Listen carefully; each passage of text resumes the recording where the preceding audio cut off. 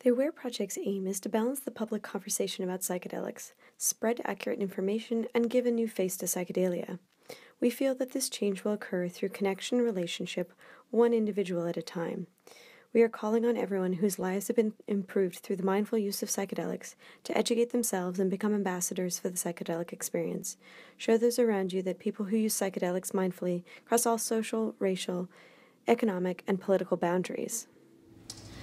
All right, so um, today's speaker is a colleague of mine. We both um, work um, associated with um, Crossroads Treatment Center, which is an Ibogaine um, clinic that is in Tijuana um, that works with both uh, Ibogaine and 5-MeO-DMT toad medicine. And um, I'm just really thrilled to have Charles here, and he's, he's been a, a, a, good friend for, a fast friend. We haven't known each other too long, but it was just a kindred spirit, so it's been really exciting to, to get to know each other, and um, uh, we're really excited to have you and to be continue to connect and, and highlight some of the local um, people working in this field. Um, so with that, I want to hand it over to Charles. Thank you.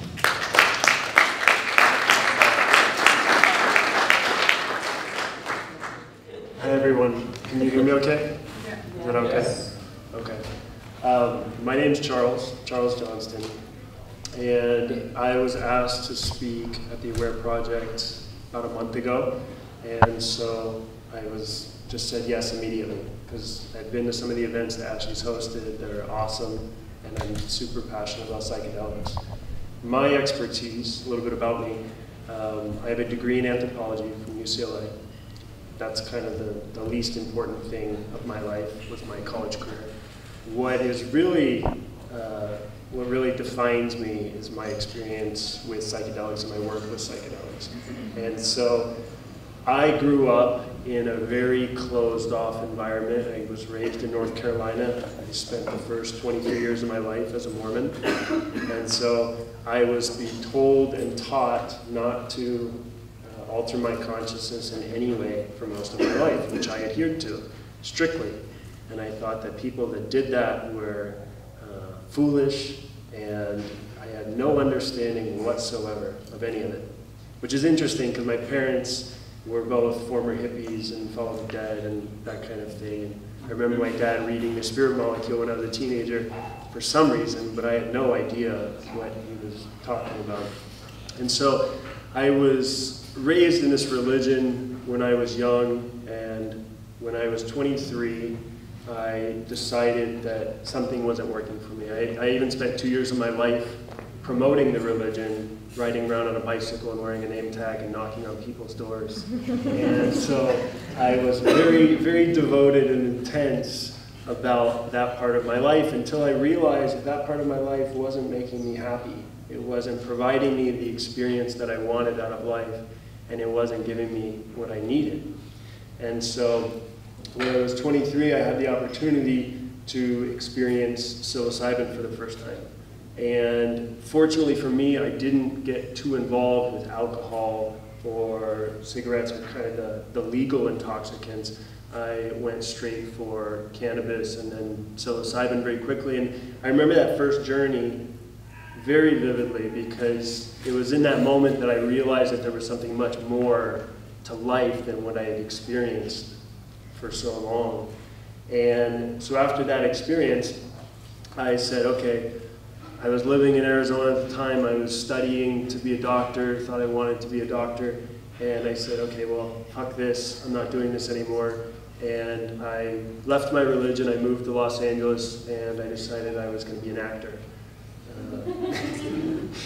That lasted about three months. I said, okay, fuck this. I'm not going to do it. I'm to go back to school. But at that same time, I started to experience altered states of consciousness, and somewhat with reckless abandon.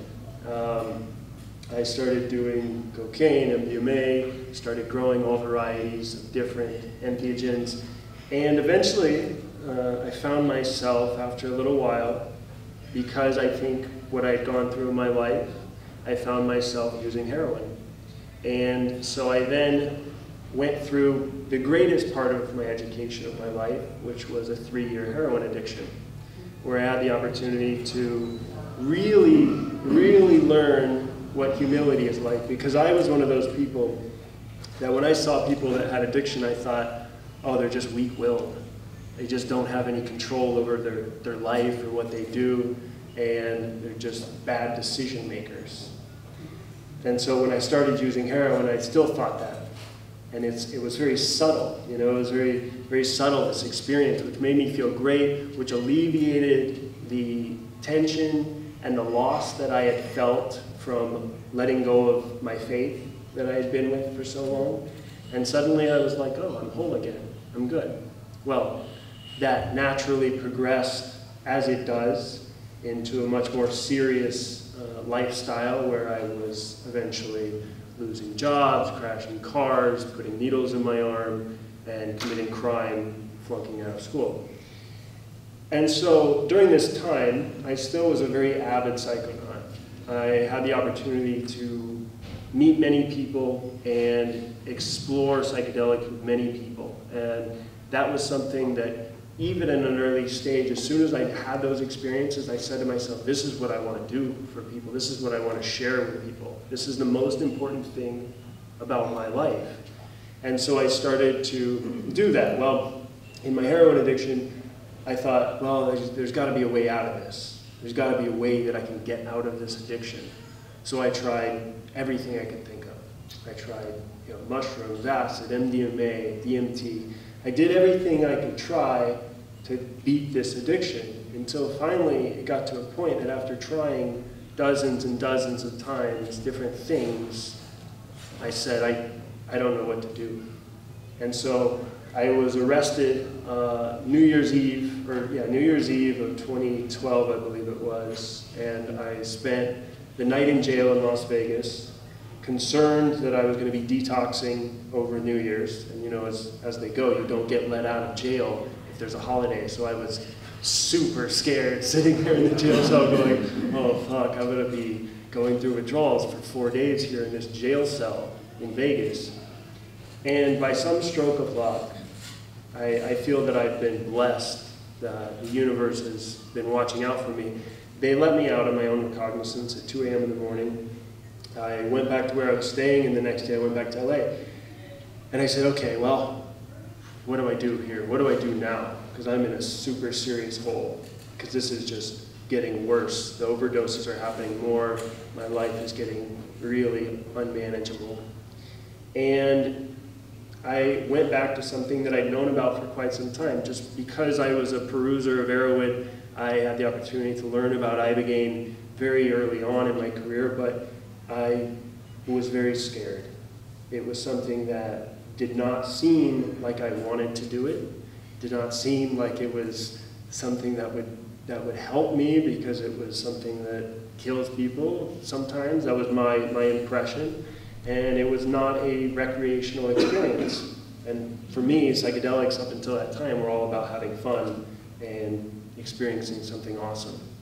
So I was like, all right, I don't know what to do here with this, but I received uh, my final scholarship check in the mail, um, which I eventually had to pay back because I had failed all my classes the previous semester. But I got it and I said, okay, what am I going to do with this? Am I going to go buy dope or am I going to go to Mexico and do this? I have, I have one shot at this and I was at the point of killing myself. So I just said, well, I'm going to go try this and if it doesn't work, I'll just take my handgun and finish, finish the job because I don't want to continue with this lifestyle. So I got on a bus and I went down to Mexico and I walked across the border and I was picked up by, uh, by the group of the place that I went to. And I remember sitting in the car and just breaking down and crying because I was at an utter loss. I didn't know what to do with my life. And I didn't know, I, I was in shock at what it had come to. And so I go to the, the place where I was to do Ibogaine. I waited a couple days, and then finally they gave me the medicine. And I was very apprehensive. I was scared. It was probably the first time I was really scared to do a drug, uh, which, is, which is weird given, given all the other drugs I've done so many times. I was kind of scared. But uh, they, they gave me this medicine. I remember laying in bed. And Ibogaine is an interesting medicine in comparison to most other psychedelics because it, it's not I would say it's not the kind of guaranteed experience that you might think. Most people with Ibogaine don't get what they expect. Uh, it, you know, it's just not, it's not what you expect. And so I'm sitting there and I'm thinking, I'm going to see all this crazy stuff, all these visions, all this stuff, and nothing's happening. And I'm like, oh shit. Did I just waste all my money for this? You know? And I wasn't in withdrawal, so that was okay. And I'm, I'm sitting there, I have an intense purge experience, which I didn't know how to integrate at the time. And then after about halfway through, something happened, and it was probably the first real miracle in my life that I was recognizably something that I understood as a miracle. Because it was in that moment that I felt self-love again, that I finally let go of the hatred and the pain that I was holding on to with the addiction. And something I learned later was that addiction really is that, it's self-hatred. There's no other way to look at it. It's just self-abuse and uh, a lack of love for yourself in your life. And so I was able to let go of all that, and my experience essentially ended. I don't remember anything from that point on besides just bawling. So I, I came through the next day. I had about two days of recovery where I was super wiped out. And then I remember waking up after sleeping for the first time, and I was brand new. And so I said, "Whoa, you know what? What's going on? I'm, I'm me again." And so someone at the center I was with, he knew what I was interested in. I was studying at UCLA. My goal was to go work for MAPS. Um, I actually went to Santa Cruz at one point, went and knocked on the door of their little building there. No one was home at the time, but I didn't know what else to do. And I was at that time I was still in addiction. But uh, he, I told him about what my interest was with entheogens, and he said, "Well, why don't we do this?" And I said, "Okay." Kind of just like when uh, they asked me to speak today. That's kind of how I approach life. Is when when an opportunity comes, you trust your gut and you just say, okay, yes. And so I came back to LA with him and I started working in the Ibogaine industry by myself, by doing it, by helping people go to Mexico and, and establishing that for people. And so for the last four years, I've been working in this industry. I've been helping to build clinics, establish clinics, and help people do the medicine, sit by their bedside, clean up after them, be with them, and then also be on the other side as far as talking to them, helping them do go to Mexico, talking to their families, and working with them afterwards.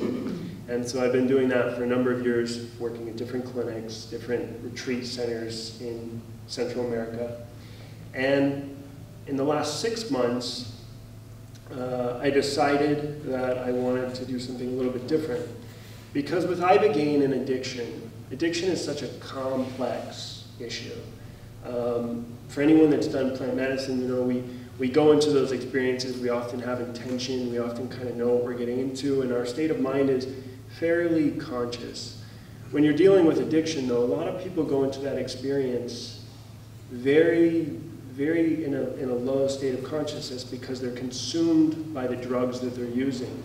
And so they don't know what they're getting into, and they go through this experience, and then afterwards they really don't know how to work with it. You know, the most common description of Ibogaine is it's intense. They, they, they don't know even a lot of times how to relate that or how to unpack that experience.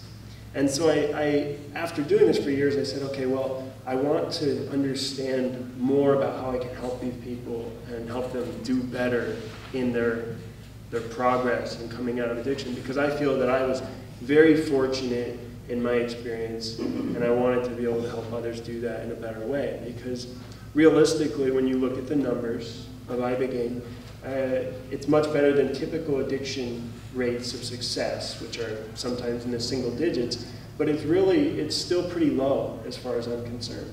You know, it's still one out of four, one out of three people go through this experience and come out and are able to walk back into life and, and get on with it, which to me is, is a partial success. I feel that with plant medicine, there, there's always a better way to do it and to help people do better and succeed. And addiction is something that is probably the most challenging, one of the most challenging things to deal with.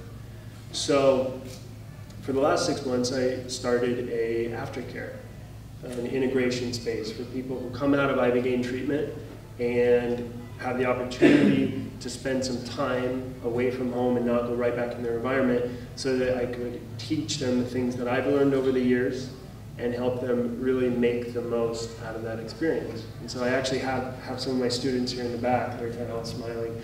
But uh, it's been an amazing six months, a challenging six months, and I've learned a lot. So that's really what I want to share with you guys today are the things that I've learned through this, this journey that I've had, and especially what I've learned in the last, last half year of my work with people.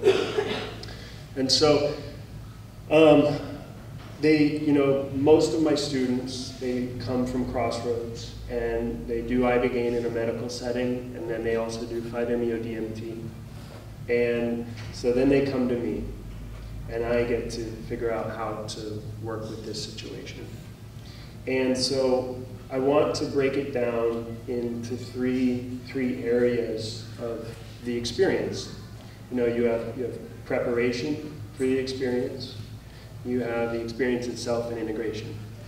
And so first I want to talk about preparation for this kind of experience and for entheogens in general. This is just, this is all my personal experience and I've, I've had the opportunity to facilitate many times, many different medicines and uh, my knowledge keeps growing, so this is definitely not my definitive, you know, my final outcome on all this, but I do want to, I feel it's growing a lot. Um, with preparation, a lot of people go into these experiences, as I, as I said, um, almost unable to really be prepared because of where they're at mentally. And so I think it's really important. There's a a few key points for them as far as getting through that experience. First, expectations, setting expectations both for them and for yourself. One of the most common issues that I run into with Ibogaine is that people come out of it and they go, well, I didn't get any visions. And I say, I say, who told you you were going to have visions? Because that's not what happens for most people. It's like one in three. I didn't have visions. I've done it six times, no visions. So that's how it goes. Um, something that a lot of people misunderstand about entheogens is they expect to have some beautiful visionary, and with ayahuasca too, some snake showing up in their vision. With Ibogaine, they expect some movie screen to scroll down and show them their whole life. And what I've learned and what I tell people now is stop looking for things and notice what's there it's not always, for most people, a visionary experience. It's a lot of times it's a, it's a comprehension, it's a knowing that happens. And that really setting the stage for that and helping them understand first and foremost that this probably isn't going to be what you're hoping for. And that really you have to walk in there and just say man I, I just hope to get something out of this is what you need to understand right? And so Unfortunately, the internet's out there, and people, people read all kinds of wild tales about all kinds of stuff, and it's both a, a positive and a negative. And I think for anyone who's, who's working with these medicines or facilitating or telling their friends about entheogens or who are in addiction or looking to use entheogens to help them, themselves out of it, is to really help them understand that in the experience, what they need to do is not look outward but look inward right? To look, to delve in in the experience and to start to confront the things that started the issue in the first place. So preparation, I think, is very important, and setting the, the, the, setting and the space that you create and the type of facilitators that you put people around is really important. And that's another thing that is somewhat challenging because there's a lot of people in both in, in my industry and in the general community who are serving medicine and working with medicine and really aren't, aren't ready to be doing that work or aren't even sometimes willing to do that work but are doing it because it's a job. Because that's what you find due to prohibition, you, we have to work in Mexico to do Ibogaine. And unfortunately, a lot of cases is you have people uh, in a culture who don't look at the medicines as medicines. And they don't understand the difficulty of what we're going through and what we want to achieve with these medicines. And so having proper space and proper facilitation, and I'm sure I know Ashley can attest to this too, is, is so vital. And I would say in my, in my experience with that is that you really, you really want people to understand that the people that they're going to be around, the people they're going to be working with, need to have compassion and need to know the medicines that they're working with deeply. Um, so that, that's really important, and then, and then the setting as well. With Ibogaine, unlike any other entheogen, you're often dealing with a setting that is clinical. Uh, because there is the chance of, of cardiac difficulties, because there's a chance of someone dying, you have to put people in an environment where they're being essentially hospitalized, where they're in a bed, where they're being monitored, and where there's doctors and nurses walking around making sure everything's okay. It, it's a give and a take, you know. Um, I feel that there's going to be a lot more growth in understanding this medicine and helping that be a better experience for a lot of people because when you go to the other end of the spectrum, which I've worked in both, where you have someone just working bedroom or with, you know, in a much more closed environment that's simple, uh, you face some of the similar challenges, which is the space isn't very ceremonial. And Ibogaine is looked at either as a detox or as a spiritual tool. And the integration of the two it needs to, needs to happen. And so that's something that I've been very, very adamant about when I've worked with clinics and something that I feel going forward, working with this medicine is going to be monumental. Because if people don't feel comfortable about their safety, well, then that's, that's a challenge. But then if they don't feel comfortable about what's actually going on in the experience and they think they're in some insane asylum and they start hallucinating that they're being kidneys are getting taken, then it's, it's scary too, right? So both those things are really important, and that set the stage for the experience. Um, the experience of Ibogaine is, is a unique one because you're incapacitated. For anyone that's done it, they know that when you take the medicine, you're really limited on how much you can move. You can't really get up and walk around. You can barely move around without getting nauseous for a lot of people. And so you're in this state of almost, uh, you know, you're in a paralysis of sorts. And at the same time, your mind is just getting worked, you know, it's like on hyperdrive. And all this stuff's happening and running through your head and, and you know, there's, there's things happening visually, but then you close your eyes and there's sometimes nothing happening, sometimes there's all kinds of things happening. My, my biggest thing that I've learned working both with the medicine and also working with, with uh, 5-MeO-DMT is something that I feel is very important and maybe steps on the toes of the way some people do medicine. But I think an active facilitation is very important for both of those medicines, especially for people coming out of addiction. Because one, they're going in, they don't know what to expect. A lot of the things, a lot of the words that are being said to them beforehand are not being heard because they're clouded by drug use. So then they get in the experience and everything that you've told them is out the window, right? And if you kind of leave them alone and take a very, uh, what I think is a very masculine approach of kind of, oh, go deal with your, go deal with your issues, a lot of times people don't. They don't. They come out of the experience and say it was terrible, nothing happened, and they don't really confront what needs to be confronted. And I personally, from my experience working uh, with the Bwiti a few times as well, have seen that an active facilitation is important, that there needs to be some sense of psychotherapy work done in the experience. Maybe not throughout the entire experience, but both leading in and both letting down so that they can really get the most out of it.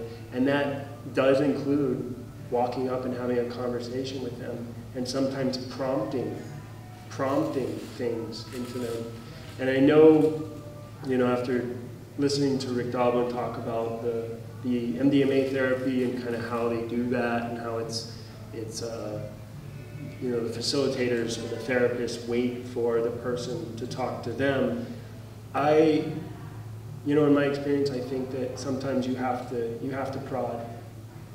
You have to, because when you're dealing with people in addiction, they don't want to ask the questions a lot of times. They want the easy answer. They want to just be told. And sometimes if, if they're not told, if they're not pushed, if they're not pressed on what needs to be, what needs to be worked on, then nothing gets worked on.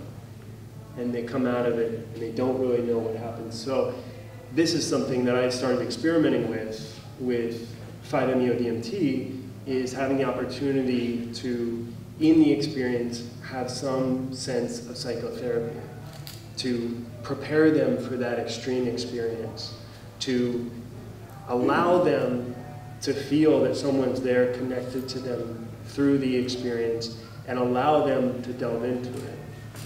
And I'll, I'll talk more about that later with my integration work that we've been doing. But I, I think that's probably one of the most important things that I've learned from the experience.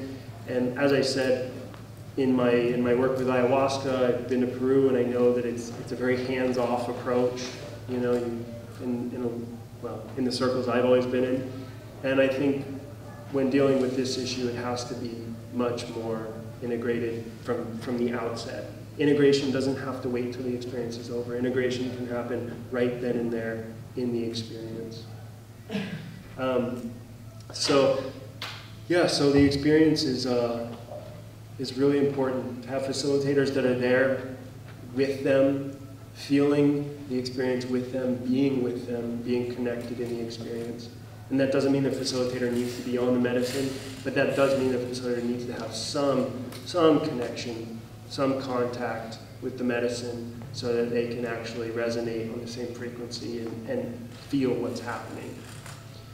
And then there's the integration. So people come out of Ibogaine and they're trashed. they're, they're, they're like zombies for a couple of days. They can't walk can't sleep, can't eat. You, you feel like garbage, you know? And I encountered this, most everyone encounters this. And it's one of the great challenges to, as someone working with this, and, and to feel empathy, but not try to fix the situation. Which I can say that I'm, I've been a culprit of, of trying to fix the situation instead of allowing the person to experience and deal with it. Because there's a fine line between between helping and assisting, right? Helping is, is doing it for them, and assisting is being there and supporting. Um, with integration, when people come out of the experience, those first couple days, they need to be held, they need to be comforted, they need to be provided proper nutrition, they need to be provided with proper physical activities. I remember when I first started doing this, uh, people would come out of the Ibogaine experience, and the day after, they'd be just laying around, couldn't do anything, couldn't walk, couldn't do anything. And I would reflect back to my experience, and I would say, all right, get up. And I'd get them up, and we'd go for a walk, and they'd be trudging, and like, and I remember when I did that too, and it just, it, I walked, I don't know, 100 yards, and it killed me. It was so hard. But they, ha they have to be pushed at some level. And with addiction especially, people are so used to being comforted, they're so used to the easy path that you have to start them in that immediate process of pushing them, making them uncomfortable. My students know one of the main things I stress is being uncomfortable all the time. all the time. I, I, just being around me is uncomfortable sometimes. uh, but I, I, I stress being uncomfortable because for all of us as people, we get stuck in these routines. And the only way we grow is to be uncomfortable. And the only way we let go of addiction, i.e. attachment, is to be in discomfort. And so forcing that on someone, they're already very uncomfortable, but you have to, you have to gently push them and keep prodding them and do so in a way that they feel that you understand that they feel that it's best for them and that they eventually they have to do it. You know, they, they just have to. There's no other way around it if they want to overcome what they're dealing with. So then once they get past the physical stuff, they, they're better, Their, their mind is very clear, they're, they're sharp, they feel good usually, they're pretty straight. And then comes the real work. I know it seemed like all that other stuff was a lot of work. Now comes the real work, which is where they start their long-term integration. And so the, the title of my talk was Entheogenic Medicine, Addiction, and Integration, but it's, it's the subheader of um, uh, Rediscovering Self with Practical Spirituality. One of the main things that I've discovered, that I've realized, and this may seem obvious to a lot of people, but in our country we look at rehabilitation as this idea that, okay, once we get you off drugs, you're going to be fine.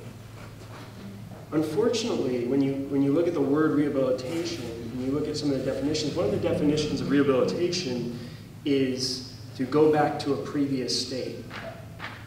Well, unfortunately, most of these people that I work with, their previous state is in their teenage years. It's in their formative years. It's, it's well before they were self-sufficient, autonomous adults. Well before they actually really had to take on responsibility and accountability. So then you're, you're, you're confronted with this thing of, okay, now we have to advance maturity in a rapid way, really rapid. And so that's what I've been working on for the last six months is helping my students really progress in that place of their life and looking not at not as it as addiction recovery, but as just life coaching, habilitation, learning to be a normal, stable adult. And so some of the things that we do which are really interesting that I, you know, I feel fortunate to have been shown and, and work with some of the people I work with is we do a lot of alternative medicine. We do a lot of things that make people uncomfortable. Um, this morning we had the opportunity to do Kambo with some of our guests, and that's something we make uh, a weekly activity, and I make sure that everyone does it a few times. Now, Kambo, if anyone's unfamiliar, is the Amazonian frog poison from the giant waxy tree frog. And it's a very rapid detox. You burn little holes in your skin and you put this frog poison which gets into your lymphatic system and causes a severe reaction. And so the purpose of this medicine is to detox, to re-engage the circulatory system, to re-engage the endocrine system, and to help people release spiritual and energetic trauma. A lot of our students are dealing with trauma from childhood, from parents who, who instilled in them values that are no longer serving them, uh, experiences they've had through their addiction, the trauma of addiction. That's something I had to go through, was the, the experience of just living in addiction is traumatic extremely traumatic. You see people dying. You are dying yourself, literally killing yourself on a daily basis. So, how do you let go of all this? How do you get rid of all this? It takes time. It's not a one trick pony. You do medicine, you're good. You got to continue. And fortunately, I've been in the community. I've done a lot of plant medicine over the four years, so I've been blessed to be able to continue that path. But I'm still in my process of letting go of things in my childhood. And so we do things like Kambo to really help them let go. We push them, we make them do meditation, but we also take them to isolation tanks and put them in deep meditation. We take them to cryotherapy, we take them to Kundalini Yoga. And the, the number one thing with all of these activities that we're doing, uh, we even do Sananga, even drop liquid fire in their eyes and, and make them sit with it. Sananga is another Amazonian medicine that you put drops in your eyes and it burns like hell. And I tell them every time, I say, be with this experience. Love this discomfort because until you love this, until you embrace it and stop trying to escape, it's going to keep hurting. Just like life. Life is going to keep hurting you if you keep trying to run from the pain and from the challenging, suffering parts. So, we, we constantly are pushing them and using as many things as we can from the jungle and from modern alternative therapies to give them the opportunity to experience a whole wide range of healing modalities, and at the same time, to make them realize that they are so much more powerful than they originally thought. That they are so much more accomplished than they originally thought. And I bring them back to the principles of accountability, humility, and what I feel most important, gratitude. And gratitude for everything that they've been through.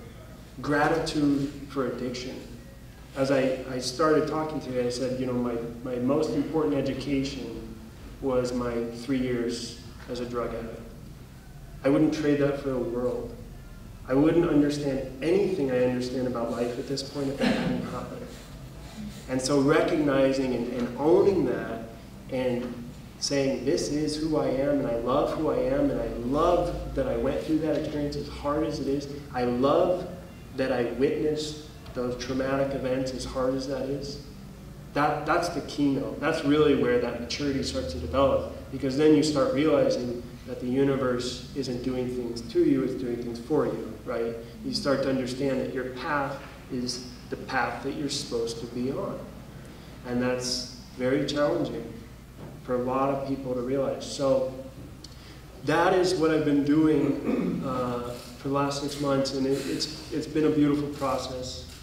It's definitely not perfect, and there's a lot there's a lot to grow from. There's a lot to learn from all the time, and you know then then the longer term, what do they do even after they go to us?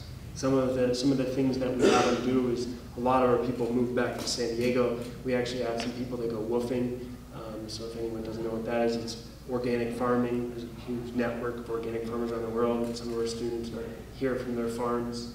Um, and getting them out there, putting them on their own. Because there's a, there's a point where they have to go. They have to fly. And they have to release and let go. And that's one of the things from the, from the place of where they're coming from. A lot of them have to disconnect from the former life. They have to reshape their self. They have to let go of everything they thought they were they have to let go of the way they thought their parents are. They have to let go of the way they think they are. They have to change the way they listen to music, the music they listen to. They have to change the movies they watch. They have to change the way they talk, transformational language, letting go of certain words. They have to start engaging in new activities, reading, uh, writing, meditating, and just telling their story and starting to embrace their story and realize that they are beautiful people. So it's, it's been a wonderful experience and, you know, fortunately we get to work with plant medicine. It's not nearly as challenging as I think what people go through in the mainstream. I don't know why anyone works in addiction in the mainstream. They, have to be crazy because you know, for what they have to deal with. I mean, I, I'm fortunate because people usually come to me, they're pretty fresh, they're malleable. Man, when they're coming just straight from that, I can't even imagine. And so it's, uh, it's been a great blessing, and I, and I look forward to more I'll get to learn, more medicines I'll get to use, more opportunities I'll get to present them to, and exposing them to a whole new way of life and allowing them to experience entheogens in a new way and, and ultimately change their life for good and, and be an example for their family and everything that they stand for. So, thank you. That's what I have. Uh,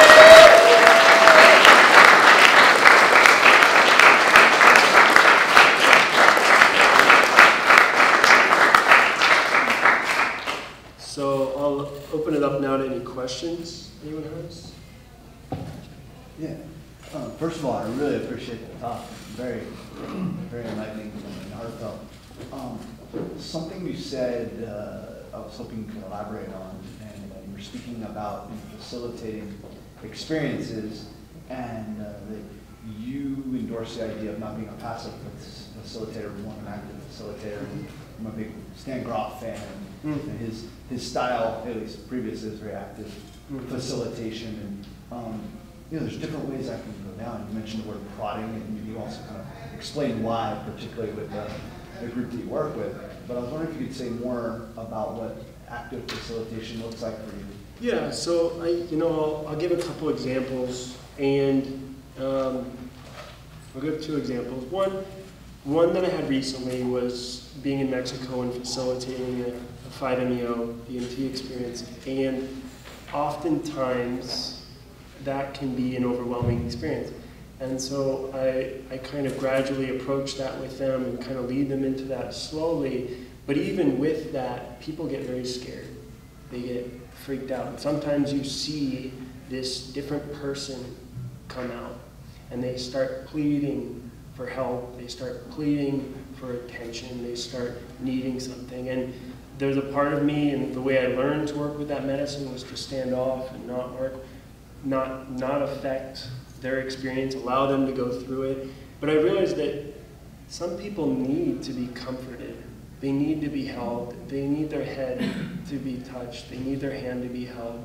They need some sort of physical touch. And sometimes they need someone to say, it's okay when they say they're scared. When they say they're dying, they need someone to tell them it's okay. Go for it. Let it go. You know, just some simple, some simple phrases I found can be very powerful in, in helping people get to that place. When they, when they come back from that, that highest bardo and they come back into their ego and they go, they say something to you, if you can say something and be in that experience with them and help them to kind of connect back into it and let, let their ego dissolve again, it, it can do wonders. Because even though they're scared, even though they're dealing with it, they know they're not totally alone. They know that there's someone there with them. They know that they're being, they're being comforted. Um, with Iboga, I, I, worked in Costa Rica for a little while and I got to work with Iboga and I got to see a different way of doing Iboga where the shaman would actually come around and would guide you, would, would tap you on the head, and tap you on the forehead, and would literally sit there and guide you and talk to you through this experience and go through the questions that you have in the medicine and and work through this process with you, which I think is, is very, can be very valuable. It's something that that's, with Ibogaine or Iboga, I'm just starting to understand how to work with that and how to guide that. Um, and then another example is with, with Kambo, when people are having discomfort, a lot of discomfort. And the, the purpose of the Kambo is to purge, to get it out, right? Some people are very resistant to getting it out. Some people will hold on so tight, they won't let anything go. And the same thing with 5-MeO-DMT. People will hold on so tight, they won't let it go. And as a facilitator, you can either just sit there and watch this happen, and then the, the medicine wears off and they brick walled it, or you can say, okay, I'm gonna, I'm gonna do something to urge this along. And something that I do is I try to, I, I, because I get to know people, I delve in and I say, hey, I want you to think about this. I want you to deal with this, approach this topic of your life. And, and I just kind of whisper it to them and I push them into thinking about the very thing that they're scared of, the very thing, the trauma that they don't want to let go of.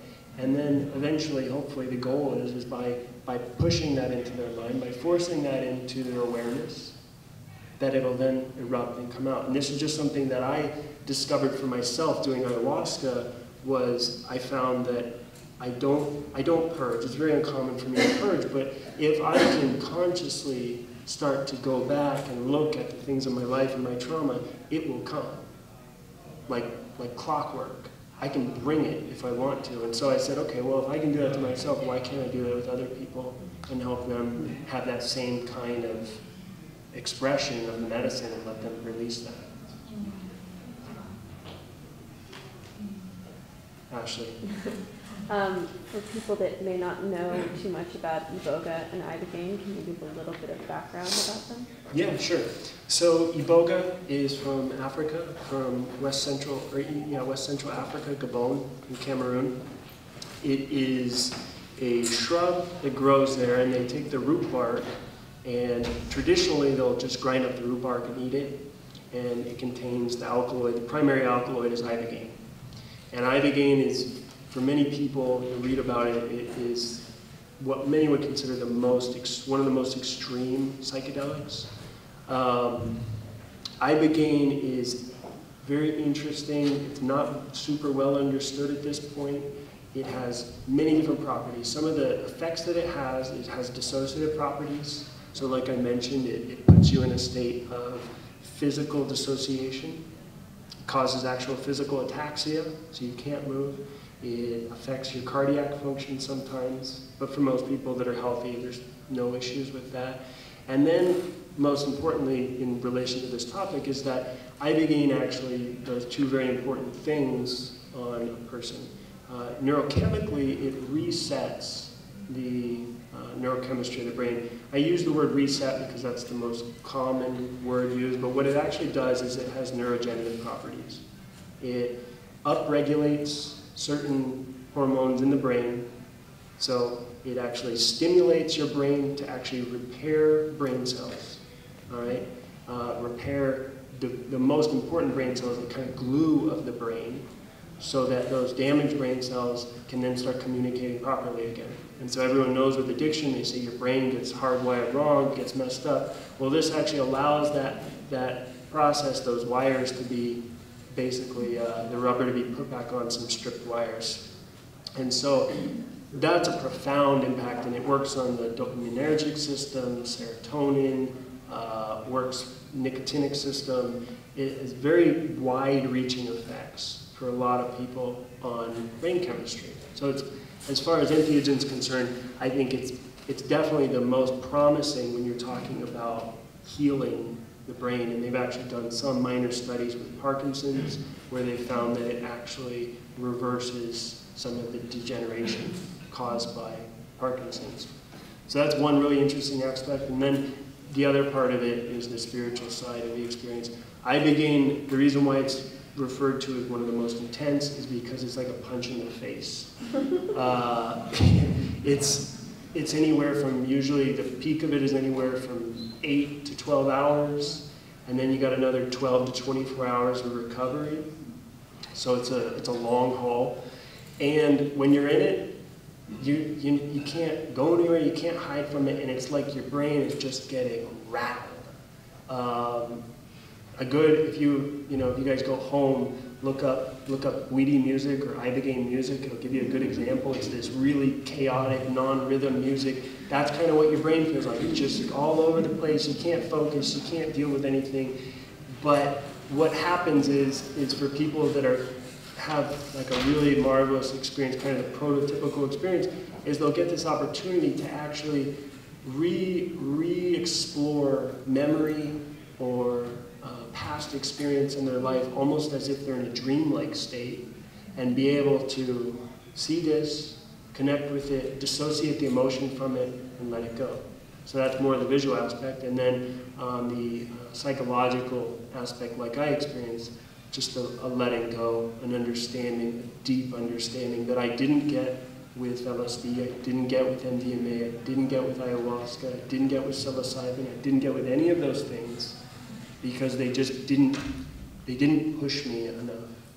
And maybe I wasn't ready at that point, but I would say for myself, I began, I needed something really strong that was going to confront the, the worst parts about me, because it brings up your demons. Yeah. Do you guys work with the cactuses at all? No, no, we haven't done any work with uh, cactus in, in Mexico or anything like that. Yeah. I work with digestive disorders like IBD, IBS, Crohn's Mhm. colitis. Um, so personally, I work with Aya and with Martin with Five Hundred Okay. Health Um, I'm more thinking, kind of a two-part question. One, what are your thoughts on gut contraindications? Mm. And two, how do you decide which medicine to use? Mhm. Interesting. Yeah, with gut contraindications, you have to be careful. Um, you don't want anyone that has severe IBS, Crohn's disease, anything like that, because if the ibogaine isn't metabolized properly, then you're going to have some cardiac functions. It's also rather uncomfortable and can cause a lot of irritation. And so purging, sometimes people can purge literally for 12 hours straight, which when done, if you have gut irritation problems, can turn into blood and serious, serious hemorrhaging.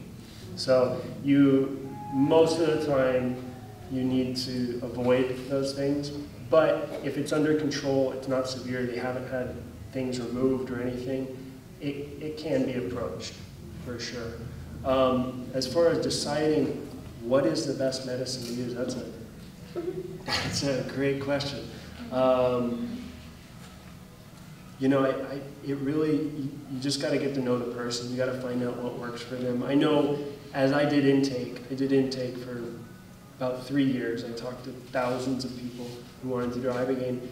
And for most of them, I said, hey, this is, this is okay. This is going to work for you. There's some times where I said, hey, ayahuasca is maybe a better option for you. I think, I don't think there's any wrong answer. I think all the medicines have benefit. Now, maybe some may be better at certain times than others, but I don't think you're going to make a wrong choice if you go do Ibogaine because you're going to get what you need out of it. It's going to be the right thing for you then and there if you make that choice. It's not a wrong choice, but like what's most effective in that time? So why did you choose, in that particular moment, why did you choose Aya over Ibogaine for the individual? Because their situation with addiction I didn't think was as severe. I felt that Aya, usually if someone isn't in a super severe case of addiction, like they're not dealing with opiate addiction or methamphetamine addiction or super hard addicted drugs, um, I said, well, you know, maybe, maybe try ayahuasca first. Maybe give that one a chance, explore that first. But I still, I, you know, but I also said Ibogaine could be right for you too. There's, with Ibogaine, it's a much bigger commitment. You know, you got travel somewhere, you got to, it's a, it's a large financial commitment, and you're getting into a world of, you know, deepness that uh, sometimes I'm kind of like, well, maybe try something a little easier first, see if that works. 'cause I don't want you to hate me afterwards. Most people hate me right after, so yeah. I have a question about the financial aspects of it. Um, it- Because I know going to addiction centers here are expensive, and I imagine they're expensive wherever you go. And then you said, then, then they reprogram their whole life, and they go into different things. Well, Mhm. how do they, who supports them through this? And do they, are there insurances that cover any of it, or is it just family? Yeah. How does it work? Yeah, usually it's family. I mean, no, no insurance company are going to cover I know that, Ibogaine. but I just thought I'd say that. Well, Unless you know, if you find out any, please tell me. I'll leave. Uh, but yeah, no insurance cover are going to cover any kind of entheogen therapy at this point. Um, with with my aftercare, my you know what I do is intensive sober living. I haven't even approached insurance companies yet because of the fact that some of the things they're not going to they're not to agree with me doing Kambo. They're not going to agree with me going to Mexico and doing these things, and it's just going to draw flags that. I don't want to mess with. So usually it is family support. I, I mean, almost always, or personal support. Yeah. Which addiction, addictions do, does Ibogaine work best for? Definitely works best for opiate addictions because of the, the fact that it takes away the withdrawal symptoms, the, most of the withdrawal symptoms for opiates. That's a huge, huge thing for most people that are suffering from heroin or uh, Oxycontin or something like that. It doesn't work for the opiate replacement therapies like Suboxone or Methadone. They actually have to switch, transition to a short-acting opiate like heroin or Oxycontin before they can do Ibogaine. So that opiates are definitely the main one, but I've seen a lot of success both with methamphetamine and alcoholism too. Um, neurologically, it's less less indicated as being prevalently neurochemically fixing those issues, but from a spiritual aspect, if you really look at it that way and you, you prepare them in that way and you make sure that they understand that that's what they're getting into and that's what they're getting out of it, then it, it's very profound. And then what kind of, what kind of average price is someone looking at, and do they want to do it more like you've done it six times? Yeah. So I, I had, I'm fortunate because I, the first time I did it, I did Ibogaine, I got clean, I was good. Then I started working in the business, I started setting up clinics, and so the second time I did it was a year and a half later, I didn't have to pay because it was my clinic. Yeah, I was lucky. And then the other four times I, I did Iboga, and I again worked for another clinic, and I had the chance to do that as part of working with the clinic. Most people you know, for most people, I think they do it once or twice. Uh, the average cost is anywhere from six to seven thousand dollars average. There's some places that are four thousand. There's some places that are eight thousand. Um, I, you know, something something I wanted to touch on too earlier was I've kind of found that there's an ideal an ideal state for people to come out of addiction, and you know, there are, there are certain demographics that do better than others.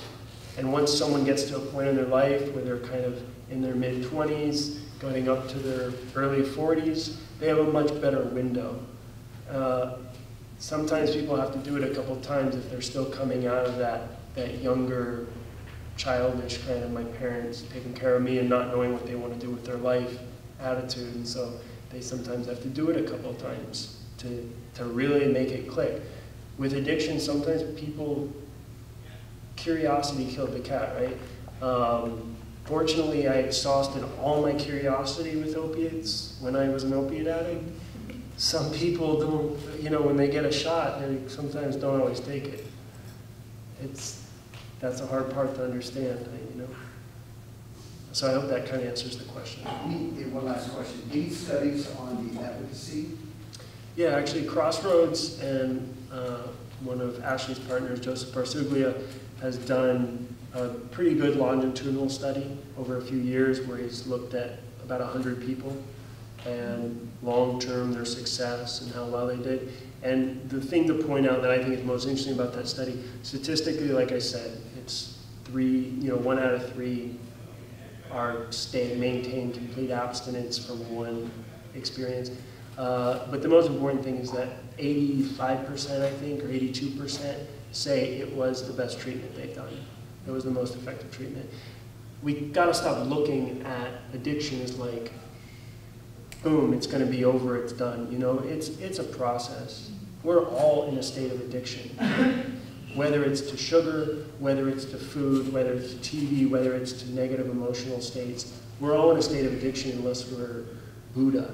So, um, you know, being gentle with that, understanding that, and supporting your loved ones that are in addiction and saying, I support you in this path. I'm not going to allow myself to be pulled under emotionally by what you're going through. I understand that this is your process. It's the best thing we can do for people because it may not happen right then and there. It may take time. And the majority of people that come out of addiction, they say mature out of addiction. So you have to build that maturity. And you only build maturity through experience. I have a question about the therapeutic value of some of the different substances you described, Mm-hmm. but somewhat unrelated to the treating addiction. If there are other questions where people want to stay on the topic of addiction as it relates to some of these therapies, then I'll be glad to push back until we finish that. Anyone want to push him back? no, go ahead. Uh, I've never, most experience I've had with any sort of substances therapeutically has been good weed. Uh, but as it relates to, uh, no one here has ever experienced that, right?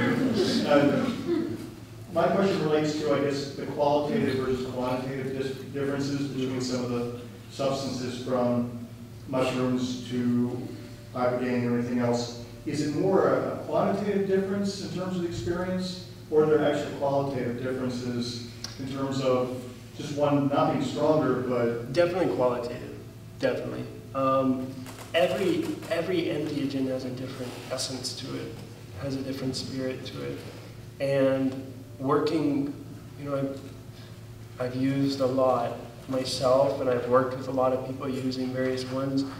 Certain ones just work better for certain people at certain times, you know, depending on what they're dealing with, depending on what the trauma is if you can isolate that, if you can understand at the core what's going on, like if I get to know someone really well, I can say, okay, well, this is probably the best thing for you to start with. Um, and it may not be something extreme. It may be something like MDMA or even cannabis, just to open it up, to, to let it open a little bit. Sometimes people have very tough exteriors and you have to push them. You have to do something that is much more extreme and it's going to force them into a state. So it definitely, definitely depends on what they're dealing with and specifically, you know, knowing them, getting to the core of the issue. Yeah. Last question. Last question. Um, So Make I'm it good. a lead therapist in an IOP program that's literally right around the corner. Okay.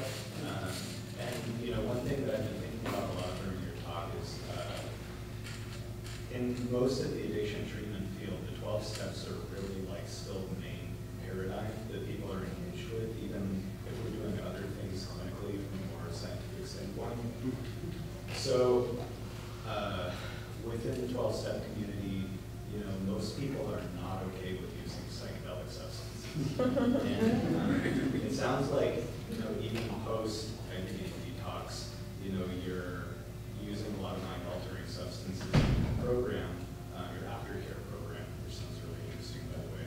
Um, I'm wondering how your clients are either integrating or not integrating um, that part of their recovery, the twelve-step recovery, or whether you're doing a pushback around that, or Mhm. just kind of how you're like bridging that. Yeah, so, most people that come to us are very adverse to 12 steps. They've already been through those programs, they've kind of been there, done that, heard this. And so they hear 12 step and they don't like it. I myself, I went to one meeting before I did Ibogaine and I was like, this is bullshit. Anything that, anything that I walk in there and I say I'm, I'm an addict and that's kind of the mentality, I was like, oh, that's totally demoralizing. That's totally like, defeats the purpose of what I want to accomplish. Um, interestingly enough, within the last few weeks, I started reading the big book. I'm almost done. Because I realized that the 12 steps at its core is like an entheogenic experience. it's no different, right? It's finding a higher power, right? Doing the medicine. It's exploring a moral, having a moral inventory, going within, looking at the deficits that you have with your character, and then releasing and letting them go. The only difference is, is you're doing it on your own. You don't have to go make amends to your friends or whatever, and then hopefully get to that point where you're then advocating and helping other people with what you've developed in your recovery. I think the 12-step model can be perfectly integrated into entheogenic experience, and we actually do work with some 12-step aspects. We take them to meetings times. We sometimes have them do inventories. We have meeting groups on our own where we discuss some of those similar principles. But it has to be done in a totally different way because the culture of 12 step is not so good, you know? And that's the thing that I want to separate from. That's the thing that I, when I go to meetings, even when I've gone to meetings recently, I look around and I see these people that are kind of just beat, you know, and they don't understand some of the most simple things about the way they're living their lives that are non-functional, right? The way they dress, the way they talk, the way they interact with each other. They kind of get stuck in that kind of, I'm working the steps. I don't need to change any of these just basic functions of what I'm doing. So I think there needs to be a drastic evolution incorporating both. Um, and you know, we're, we are doing it in tandem, and it's just going to get better and grow more, for sure. So, and, and I'll say this too, we do a lot of work with non-ordinary states of consciousness, not always mind-altering substances. Right. That's, that's cool, and just as a follow-up, you know, a lot of the clients that I work with are, like you, you know, they may have been addicted to heroin or whatever, but they also had positive experiences with psychedelics, and, Mhm. you know, the twelve-step program is telling them basically you can never do this again. Yeah. And so I have a lot of clients, you know, like, kind of in s- a state of despair about that. Well, yeah, because, Yeah. and that's the other thing is abstinence, right? Bill, Bill W, I mean, we all know Bill W did LSD. Like, the idea of abstinence is just, it's so, it's so like Western American culture, and it's, it's foolish. It's simple. That's one, that's one big disagreement I have, and the way that they kind of approach that. So thank you everyone for listening. Really appreciate it.